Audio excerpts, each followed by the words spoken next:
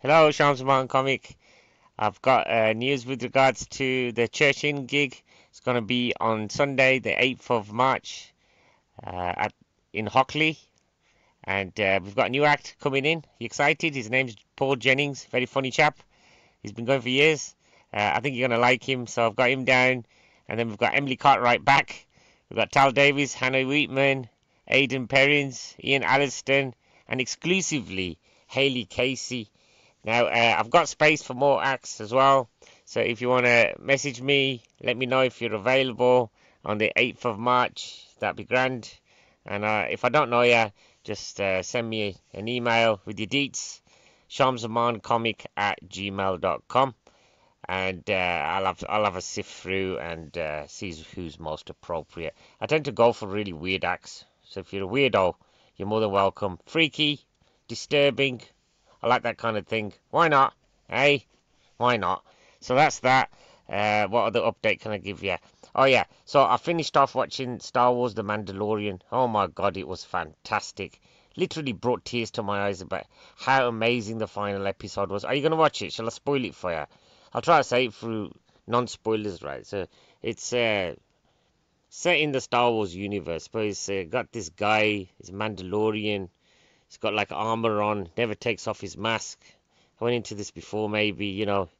That's his thing, he never takes his mask. His face must bloody stink. What do you think? He must have a really stinky face. What do you think? Like his, teeth have probably fallen out. He's probably got vitamin D deficiency constantly, having to go to the pharmacist. But they haven't really gone into the medical issues. He looks human though. You know, he's a Mandalorian. But uh, but then he went and ruined it, didn't he? Because he he, he explained to another character, oh, I only take it off in private. But that make it really awkward at parties. Like, how are you supposed to pull a girl? You know, go to dinner with a girl? Would you have like a straw? Uh, but he, he had it upgraded, and he looks a lot like Robocop. I'm really excited. Oh, he's he's all shiny, and he walks like Robocop, and he's got like a gun, and he's, he, he had spoiler, he had a jetpack. I mean, is that above Robocop? Because Robocop flies, doesn't he, in Part Three? But the Mandalorian flying and he's got like flamethrowers. Ah, it's just too awesome, man. Made me really happy. He's got a badass soundtrack, you know. And uh, they've got like, uh, do you like babies? Some people like babies. They've got a baby Yoda. Do you remember Yoda, the old bloke? You know, the little puppet, the one that goes, May the Force be with you. That one, right? So they got like a baby version of him, and he's strong with the Force. And like the Mandalorian's like this bounty hunter but he feels sorry for the baby. He's supposed to, the baby originally is, is, is the bounty. But then he looks at his cute little face and he goes, oh, no, I can't let it die. I mean, he doesn't say it out loud because he's wearing a mask. I mean, he could be wearing it, but he'd be all muffled, wouldn't he? I wouldn't know. But anyway, he's like, oh, no, you know, I can't let this baby die, what they're doing, right? And th- this scene, I watched it a couple of weeks ago, has haunted me about how evil the universe really is, right? So, like, he hands it over eventually. Spoiler again hands it over, and then they're taking it away. He starts feeling guilty, and then he breaks back in, you know, to see what they're doing to it. And there's a scene where the little baby is like strapped to a table, and they're going to do experiments on it. And I've just lost faith in humanity. I tell you, I thought, how can they tie a baby little puppet like that and do experiments on it for the Force? I mean, how evil is the universe? I mean, eh, eh, just just walking around in the park, I'm thinking about it. It's bothering me. It's bothering you now. Imagine that a baby version of Yoda. All right, he's 50, but he's still a child apparently because they age differently. But he's like he gets about a bit. I mean, he's he's a, he's a tiny 50 year old. You should see him walk. Oh, he's ever so cute. So I've been bothered about that. And there was another episode, right? Someone tried to shoot him in the head. What kind of person, right? What kind of fictional puppet person would shoot a baby in the head? I mean, it doesn't matter what the baby's done. I mean, give the baby a chance. A lot of people say, you know, oh, we'd go back in time and kill, you know, baby Hitler. How about you just go back in time and kill Adam and Eve? Just get it over and done with. What do you think? Nobody's really happy. Uh, this has gone wrong, hasn't it? It's gone wrong. It's gone on about the Mandalorian. It started off nice, just sank into wiping out humanity again. I can't swear it. Oh, sorry for swearing. So anyway, there's another bit, right? The last episode. It was amazing, right? and a stormtrooper punches Baby Yoda in the head several times, and that's been bothering me as well. I was I was tempted to phone the police, but I'm watching the telly. Maybe I need to like, you know, be more clear about what's real and what isn't. I mean, this fictional baby, this puppet was getting punched. Sick of me, mate. Don't punch Baby Yoda. I've spent most of this podcast just talking about that. I was thinking of, tell me what you think. I was thinking of going on to Podbean as well. Spoke to Freddie Farrell. Freddie Farrell. I can't even say his name. What's matter with me? Freddie Farrell. Lovely guy. He's got his own podcast. And I asked him what he's on. And he said Podbean. People, would it be more accessible, this podcast, if I was on Podbean? I'm guessing it would be.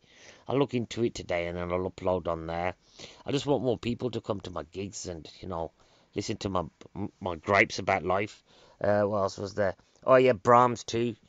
Uh, is uh, Brahms, The Boy 2. It's a new film. Do you like horror? I love horror films, right? So I was really excited. So I went down, right? Sat down in Odeon. Odeon looks only the best for charm. Leather seats, lovely jubbly. When I booked the tickets online, it said there was not a single soul in there, so I went for this middle seat, right? So I'm waiting for the film to start. Oh, do you know I don't watch trailers? Do you watch trailers? I will not watch trailers. Trailers give away everything. What's the point of even watching the film? If it says horror film, I'll take my chances, mate. I'm watching it. And then if it's crap, I'll just walk out and then just think about Baby Yoda again being strapped to that chair. Oh my God, you haven't seen the scene, have you? It's oh, it's got to me again. Oh no, no, oh no. No, Baby Yoda. No, no, no, no. But he's all right. He's all right.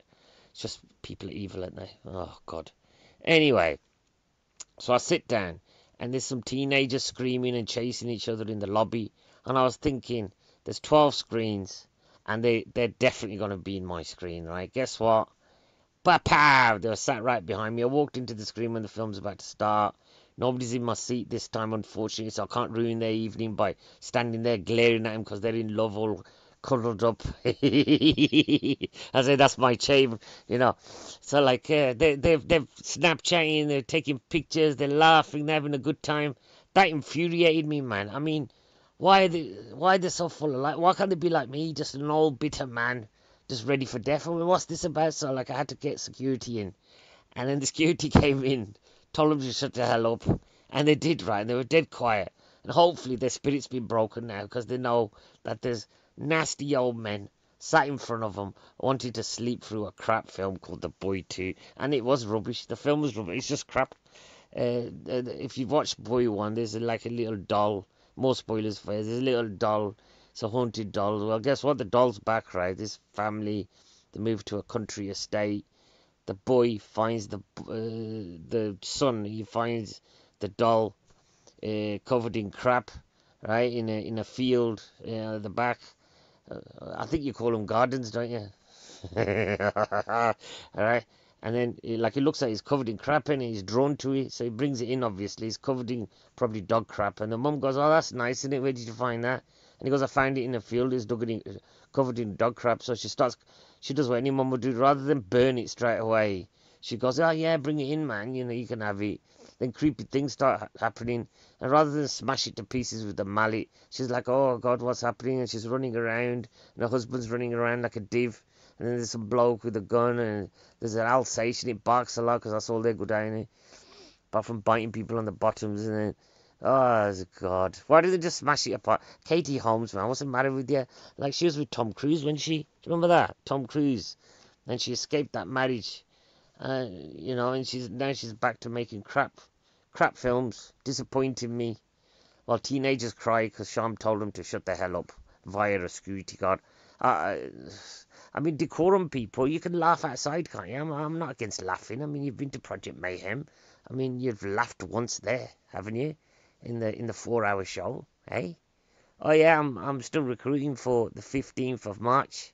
So any acts that want to get on that, again, shamsamancomic at gmail.com. Send me a details. Don't private message me. I get scared of strangers. Yeah, stranger danger. So just send me an email with your details.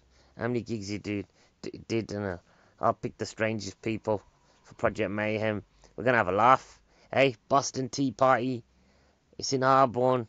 Oh, we're going to drink some tea, have some laughs. Oh, it's going to be fantastic, right?